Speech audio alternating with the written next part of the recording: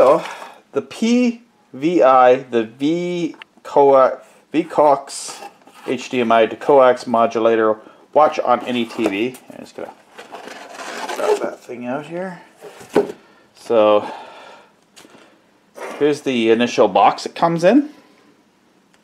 So full 1080p for video recording. Doesn't have a whole lot of info on the sides of it. Just has its uh, VeCOAX, the Mini Mod 2, which is this the unit that this is for this modulator. I'm actually I'm actually quite surprised how small the box is. Um, just uh, two pounds is what the Purolator said that it was, so it's not very big. Instruction manual. Go to PVI support knowledge base tab. I imagine it's probably some sort of a PDF file. And this is it. This is the modulator. uh, you know, I'm surprised. Here's, here's my hand. I'm actually, I thought this thing would be much bigger, but, uh, well. So, uh, yeah, okay. So, interesting. So, we, we go for our ports and things. So, it has your RF in and out. Like for, you know, seems ridiculous that this little thing is five freaking hundred dollars. But yeah, high definition video, uh, digital video TV RF coax modulator. So this basically, essentially what this thing is, just to explain to the people, this is like a, a modulator which what it'll do is it'll take your HDMI source and it will put it to a TV out. So here's the control pad and the and the instructions to it. It has a power supply, and it has a USB uh, port here. I just hold that up here. So there's a USB mini thing here. There's some sort of power port here thingy, and uh, it's it's actually quite light for what it is. Actually, this is kind of the nice thing. It's smaller than my satellite receiver. Uh, the neat thing is, I, I, think like I can even hide this behind my TV and uh, send my satellite receiver to the other TVs, which is on which would be on my main TV, and kind of hide this thing as I'm going to play around with it for a bit. Okay, so anyway, look at the unit. It has its buttons here. Uh, the V Cox MIDI Mod 2 uh, has its arrow keys. This is a display here uh, for the status of the box. And so anyway, I'll set it down there. And there's another thing here, the power supply and cables thingy in here. Okay, so as I see, uh, these are like the clamps if you want to clamp it to something. Um, that I believe they probably go in the sides. Yeah, there's probably little screws that comes with it, so that you can, uh, so you can stick it to a wall or whatever. Uh, obviously, there'll be a power supply. It is an interesting looking connection on the power supply. So here's, you know, your regular wall wart. and then there's this thing here, which I think looks kind of interesting from other other connections that I've seen before. Where I guess it goes there and it holds on there like that. I'm just going to actually put it together right now because I want to fire this thing up. I'm going to connect an Android box up to it and I'm going to fire it up and we'll uh, give it a test and see how it works with my little TV. So there's the power supply. Alright, and that's about it. That comes with it. It's uh, Alright, so there's these little clamps here, which are in this box here. I'm just gonna I don't think I'll use these clamps. I don't think there's much reason for that. Um, so for the amount of money I paid for this thing, I'm a little bit disappointed on one thing. I'm disappointed on that I don't have an HDMI cable, and I don't have a um, no HDMI cable, uh, and no um, no manual. Just this thing here. I'm surprised at the size of this thing. That really blows me away. Like here's uh, my box cutter next to it. I don't know. Here's my satellite remote control. It's really not that big. It's just a little piece of kit. You know, it does. Uh, Uh, anyway, I'm going to try a few different devices, try to fire this thing up, fire this thing up, and we'll see how it operates. And this woman, as you can see, she looks very, very happy to have her ATSC modulator. Like that's the face of happiness when you have an ATSC modulator. And she's able to, you know, use her over-the-air channels. She looks so happy that she's able to use her over-the-air channels with her uh, her over-the-air channels with her local, you know, local source stuff, and be able to have all that uh, and have her own master antenna system. I'm going to be that happy in a few minutes, hopefully. There we go. So I'm going to plug it in now. Alright, so I see it's come up. I see the PVI. Now the TV is not going to do anything because I don't have it set up to any sort of uh, uh, setup yet. So PVI, so it originally comes off as QAM, so it's set for QAM right away. Name, and so I'm going to get the camera kind of close to this display and we'll try to get a, a better view on Bring one off. I'm just going to, alright, QAM modulation. It's going out as a QAM uh, output, but I want to put it for UHF. Alright, just to make a reference, I did change the resolution to 720 and I was able to get uh, the uh, um, audio to come through. Now I have it on interlace. This is a progressive scan so I'm going to try to see if I can switch that over from interlace to progressive uh, and see if that will make this thing work. Because right now I'm not getting anything on this. One of the first things I've discovered is, okay, I've gotten this uh, no video on the input color thing, but connecting it to the TV so far, I couldn't get it to work. So I ran it through my old HomeWorx box here. So I have the uh, cable running out and running into the HomeWorx box there. And so I was able to scan the channel and find and make sure that video input was working. So for whatever reason, I'm not able to get it on with the TV's this particular TV's tuner, which has been a problem. People have complained about that it doesn't work on all the TV. There you can see that PVI Voxcom. So I'm glad I've gotten this far. I can figure out and tinker with it a little bit on these settings here uh, using this box. Now ultimately, I'd like to be able to get it to this TV any TV uh, without having to have a set-top box. That's ideally. So hopefully we'll be able to figure that out. But now that I'm able to get this, I can at least tinker around with the video settings a little bit. Alright, so now I've uh, got my Android box running into here.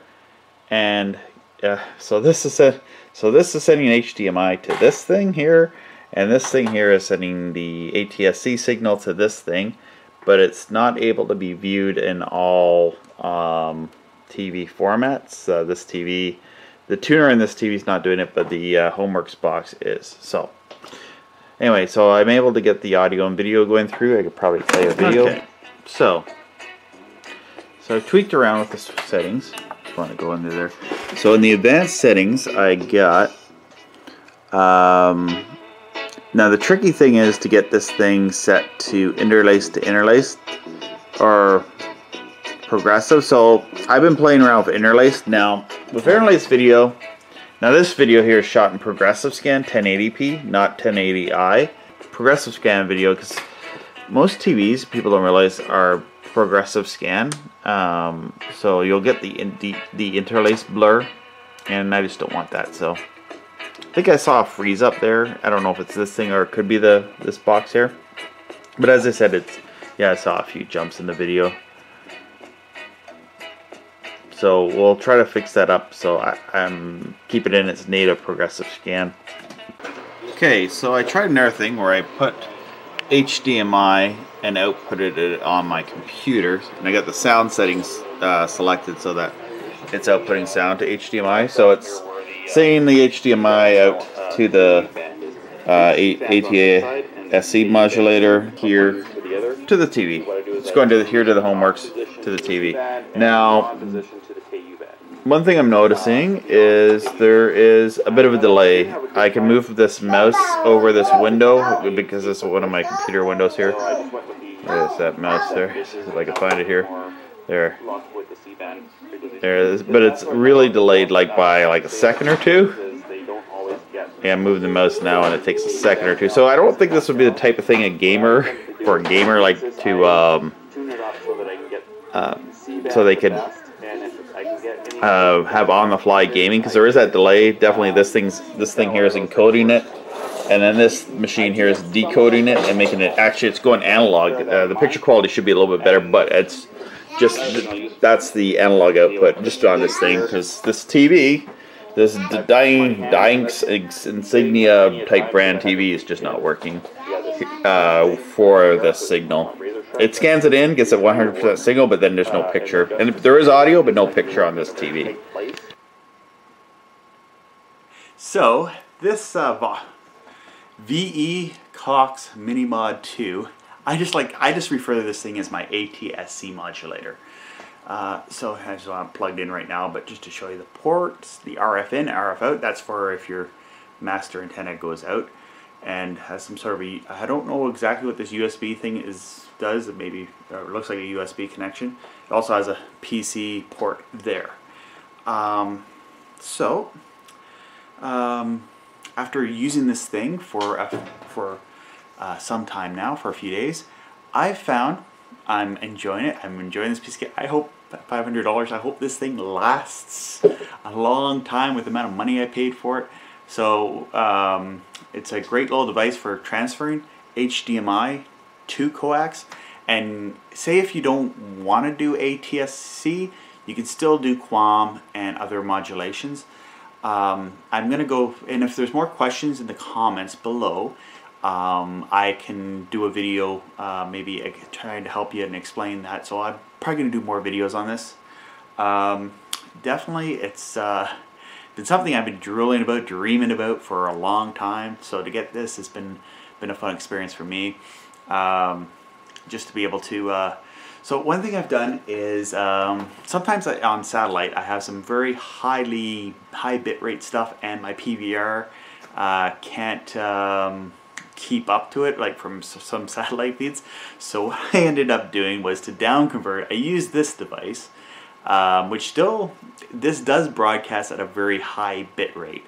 Uh, so it, uh, so I'm still getting a high bit rate from my hard drive. I'd like to maybe make it smaller files, but anyway, um, it's uh, it's getting some uh, high bit rate, but I'm still able to record with my one gigabyte, an old. I've had a one gigabyte, one gigabyte terabyte uh, drive for recording PVR stuff and all that. So I, I did connect it to my Allure Tech uh, over there box. I have the box right here. So I connected it uh, to this thing here. This thing here, I want to point out, these uh, cheap Walmart uh, TV tuner things do pick up these things. Um, the one thing that was a disappointment is my Dykes TV did not. My HDHomeRun was able to pick this up uh, but my HDHomeRun's all flaked right out. But I was able to pick up uh, the programs, but I, I can stream from my satellite receiver to that without going through the HDHomeRun. But I just wanted to see if the H look at the video quality uh, and the bit rate of uh, what this was putting out. And it was putting out puts out a pretty high bit rate. And if you want that, that's a good thing. But if you want to lower it, I haven't still figured out how to lower the bit rate yet. Um, so programming it is pretty straightforward. My biggest problem was when I started, I connected it to my Dykes TV and it didn't show up. It picked up the signal, but it wasn't showing the video. So I was messing around all around with the box. So that's one of the first things you want to do is when you plug it in, make sure you see the color bars. Uh, this thing will display color bars and it will display the PVI graphic. You want to see that. Uh, that means it's working. To actually test this thing, you don't need to have a video source plugged in. It will show you the color bars without anything plugged into the HDMI. So just to make sure the thing is working, you can do that as well. So uh, this is my first impressions. So this is the video just, you know, my first impressions of using this box that fits in the, hand, the palm of my hand. Um, definitely a cool piece of kit. Every, in my opinion, every TV should just have this. Instead of having an HDMI output, it should have this and you can maybe select, even if it didn't have like a whole whack of frequencies, at least set like kind of like what old TVs would do, whereas analogs that would put out a channel two, two, three, or four. I wish this technology, a few chips soldered together, you know, would would do that because then we wouldn't have to go through that. And you can split it to as many TVs as you want with just a simple splitter. So it's great for that. Um, and I know someone's gonna ask me will this work wirelessly? It does doesn't transmit very far but if you're just trying to send it from one room to the next with hooking a TV antenna to it uh, yeah you can definitely you want to keep your your uh, your cable sealed. You don't want to be leaking any RF. Um, but uh, so definitely try to keep your RF in. You know we're gonna be good. We're all gonna be doing that. So yeah, this is the VE Co Cox. I don't know how to pronounce this thing. Um, there's videos on their own YouTube channel telling you how to do this thing. Cool piece of kit. Uh, yeah, so let me know in the comments. I'll do more videos on this thing. Uh, Thanks for watching. Please give it a thumbs up, like, share, and subscribe.